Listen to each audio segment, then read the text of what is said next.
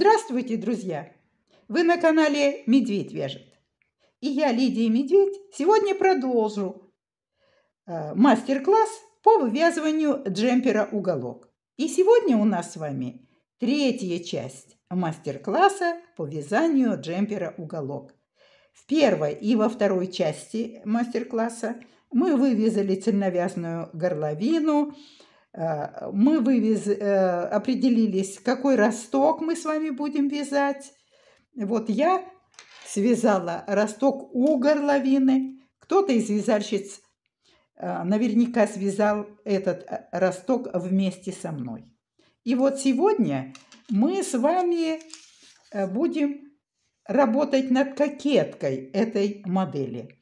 И сначала, конечно, логический вопрос – что же я называю кокеткой у этой модели? Посмотрите на вот эту вот э, футболку, которая вяжется э, именно э, как уголок. И кокеткой в этой модели я называю верхнюю часть изделия. От горловины и до подрезов. Вот перед нами сегодня такая задача а, узнать о принципах вязания кокетки джемпера уголок. Посмотрите на этот чертеж. Вот так вот сейчас выглядит а, наш процесс, если мы вывязали росток у горловины.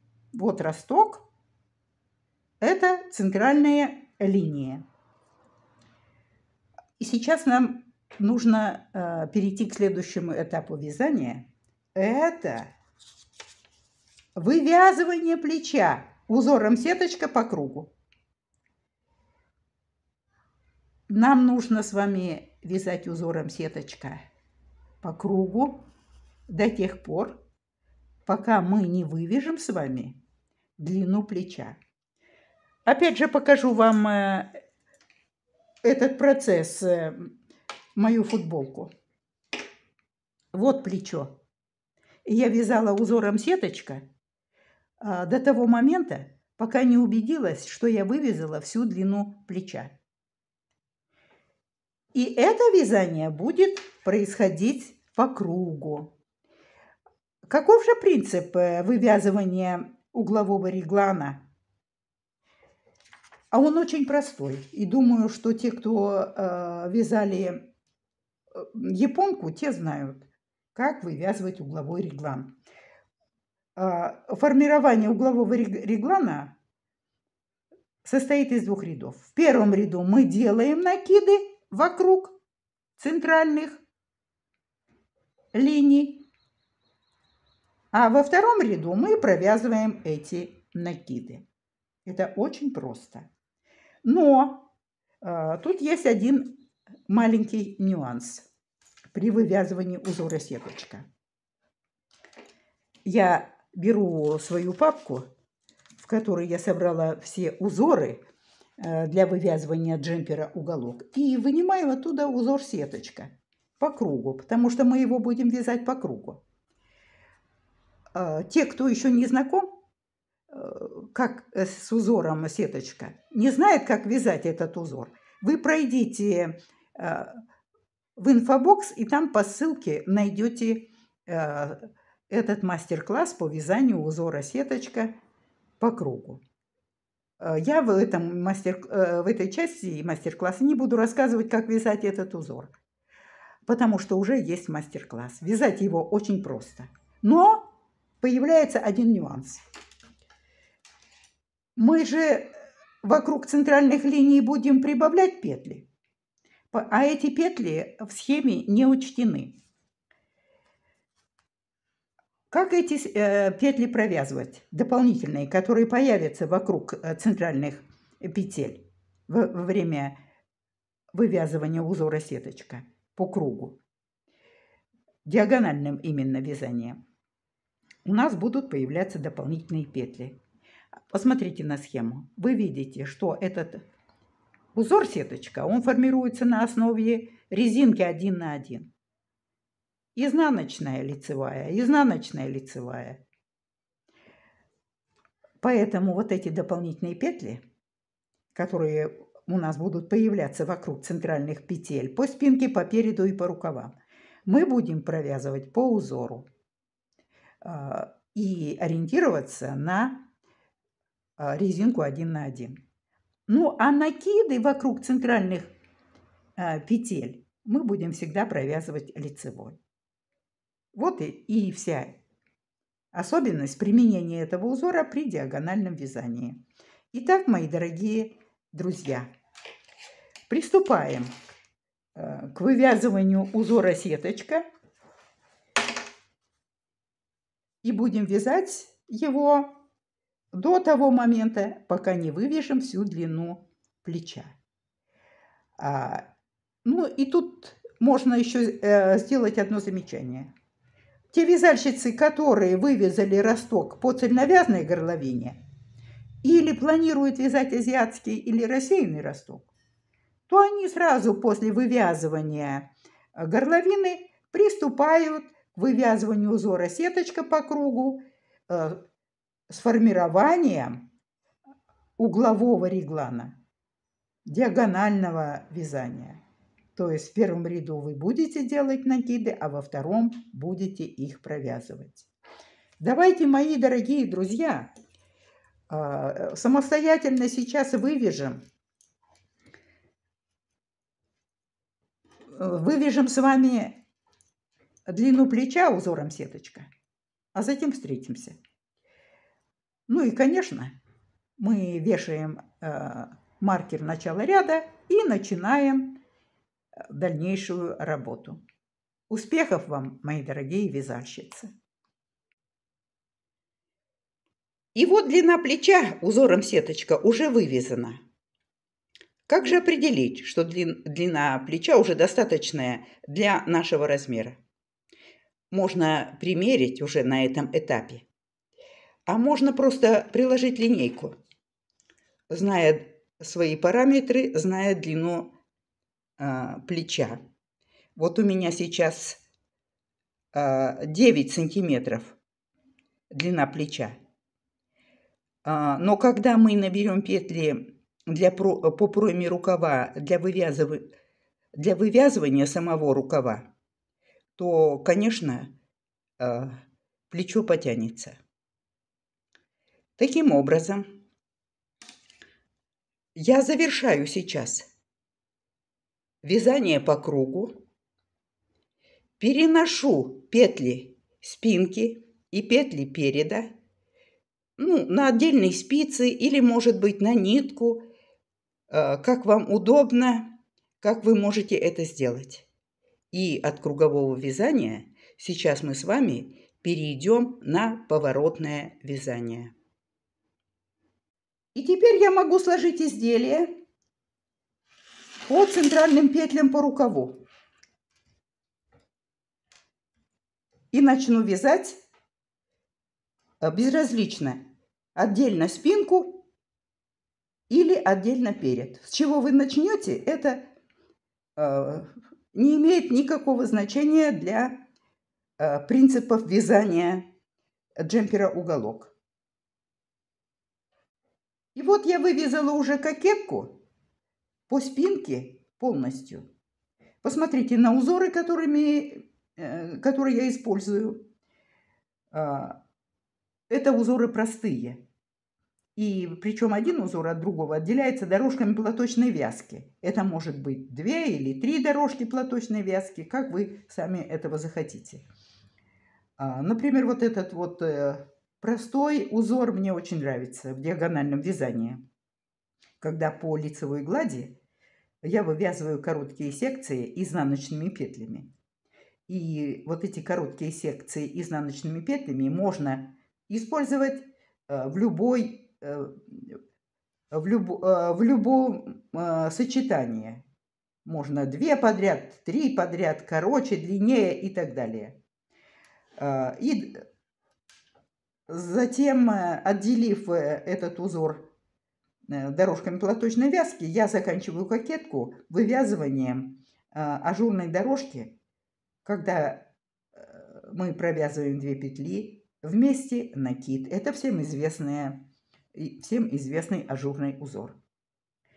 Длина проймы рукава у меня 21 22 сантиметра. И что для нас важно? Узоры мы можем использовать разные, а принцип вязания у нас одинаков. Мы должны сохранить диагональное вязание э, в том случае, если мы вяжем поворотным вязанием. Вот что для нас важно.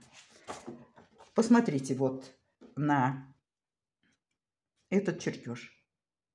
Вот так выглядит кокетка. Независимо по спинке или по переду. У нас появляются лицевые и изнаночные ряды при поворотном вязании. И появляются кромочные. И вот в лицевом ряду мы делаем вокруг центральной петли по переду или по спинке накиды. А вот в начале э, после кромочной мы провязываем 2 петли вместе. И в конце ряда перед кромочной мы также провязываем 2 петли вместе. Это мы делаем для того, чтобы у нас полотно не расширялось. Нам этого на этом этапе не нужно. Таким образом сохраняется э, диагональное вязание. Итак, вот тут вот я даже запись сделала. Мы делаем накиды, в лицевом ряду мы делаем накиды вокруг центральной петли. А в этом же лицевом ряду мы провязываем по 2 петли вместе в начале и в конце ряда до и после кромочных. А вот в изнаночном ряду мы вяжем без изменений э, изнаночными петлями, включая и накиды. Вот и вся хитрость диагонального вязания э, поворотными рядами.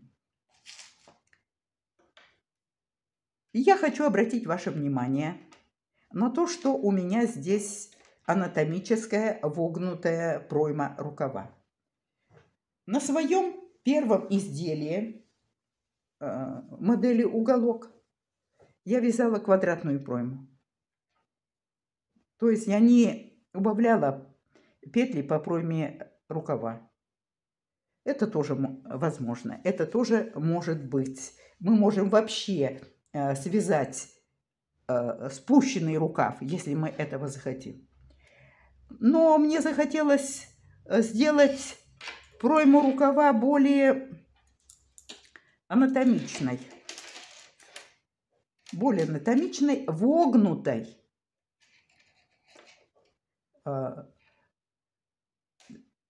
Я думаю, что посадка изделия будет еще лучше, если мы сделаем пройму рукава более вогнутой. Особенно вот у футболки. Как добиться э, вогнутой формы э, проймы рукава? Я убавляю приблизительно 3 петли э, по пройме рукава в начале, ну, по первой пройме и по второй пройме. Вот у меня стоит маркер. Он показывает, что вот здесь я вот начала э, делать э, убавление. Всего я убавила по 3 петли. Как это сделать? Я провязываю по 2 вместе э, до кромоч, кромочной и после кромочной в изнаночных рядах.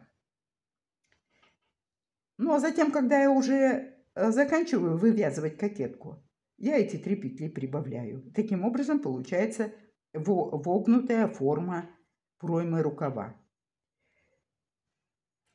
А, и еще один момент. Вот я сейчас же вяжу из хлопка. Ну и эта пряжа совершенно не эластичная, она никак не тянется. Поэтому нам нужно очень свободно вязать кромочные петли, чтобы их не стянуть, чтобы они более были расслабленные и свободные, и чтобы они все-таки как-то тянулись. Вот такие советы я бы дала при вывязывании кокетки поворотными рядами. И теперь я буду вязать вторую часть, переднюю часть кокетки. Точно так же, как я это делала и по спинке. Здесь только один момент есть. Куда включать вот эту центральную петлю, которая проходит по плечу? Я ее включаю а, для, в провязывание передней части уголка, передней части джемпера. Таким образом, у меня э, передняя часть на две петли больше. Поэтому я буду смотреть. Возможно, я для того, чтобы и здесь по передней части сформировать вогнутую пройму, я убавлю не 3, а 4 петли. Я думаю, что все очень понятно, мои дорогие вязальщицы. Нужно только вязать.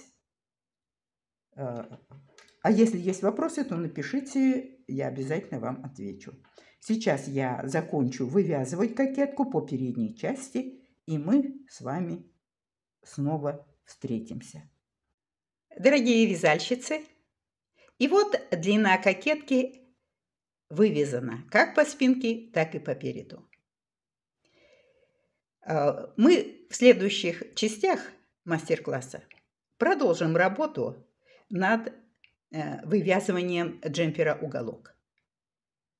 Ну а сейчас задавайте свои вопросы, пишите комментарии. Я обязательно отвечу на те вопросы, которые вы зададите. Подписывайтесь на канал, если кто-то зашел в гости. И обязательно ставьте лайки, чтобы можно было видеть ваш отклик на мою работу. Потому что вы сами вязальщицы, и вы видите, какая большая работа проделывается мною. И эта работа для вас, мои дорогие вязальщицы. Итак, я жду вас в следующих частях мастер-класса, в которых мы с вами будем вязать, вязать и вязать. До свидания!